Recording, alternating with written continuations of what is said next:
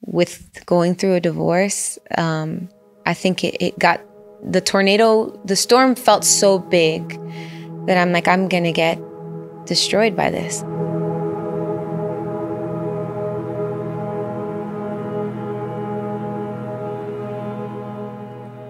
Like I felt like a little girl again. It brought a lot of these emotions back.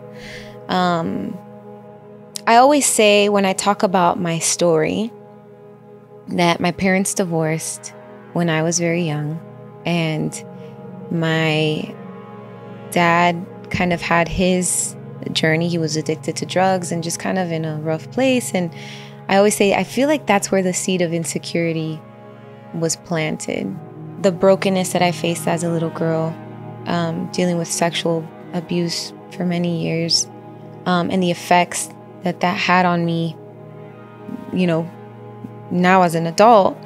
Um, but there was so much brokenness there. And then I get into a marriage without healing, without counseling, without kind of facing these issues and expecting, because I love Jesus, you know, that in my marriage is, you know, I try to do things right, that it's just going to go away. It brought a lot of these emotions back um, and just put a light on kind of these holes that I felt that I had inside. So, going through that process, number one, just in general as a woman, was uh, very vulnerable and very scary.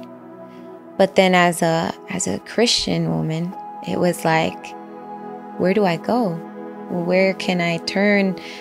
Uh, I already feel like I can't trust anyone, and then it's like, but how do you open up about something and talk through some of these things um, when you feel a lot of shame?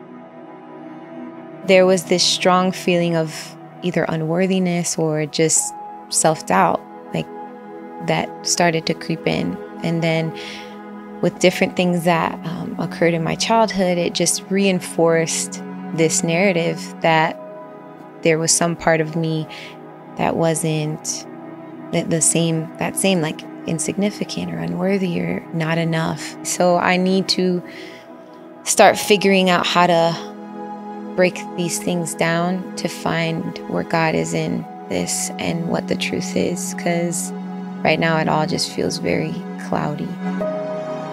I needed God to kind of guide me, and, and I'm like, I'm gonna, this is gonna be a, a error. How do you say, like, when you try something out, trial and error, basically. I'm gonna do it. I've hit rock bottom. At this point, I just, I'm desperate to try something different that could bring some light. Thank God um, for, I, I started counseling and I had this narrative in my mind um, that counseling was a waste of money, or why are you, why would you uh, talk to someone so that they can tell you what you want to hear? Even with my marriage, it was that you know the storyline. My my husband's parents were pastors, and it was like all he saw was counseling within the church community of people coming in and just issues, problems, things that were wrong. And he's like, there's nothing wrong to that extent. We don't need counseling, you know? So there was already a negative kind of vibe when it came to doing counseling. But he did just that because through my counselor, she um, was also a pastor, but just so wise and had an uh, not an open mind, but just was able to see things so clearly and uh, protect me, but also uh, get me ready for the different stages of divorce, uh, different st- stages of grief. And um, that was life changing for me because I think I was able to find my voice again through that process.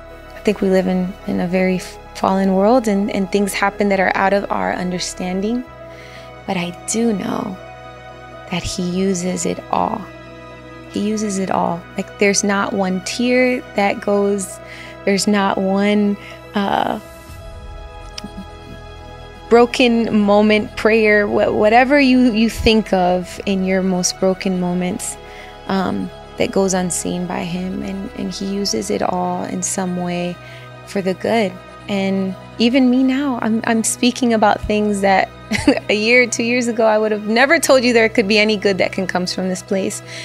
But um, there was. There was so much good that came from such a painful place. So if you are a person that finds yourself in the middle of brokenness, of shame, of pain, of um, just any of these things that we've been talking about in our own healing journey, know that there's there's hope there. There's good there that God can use all of it and turn it around for something good.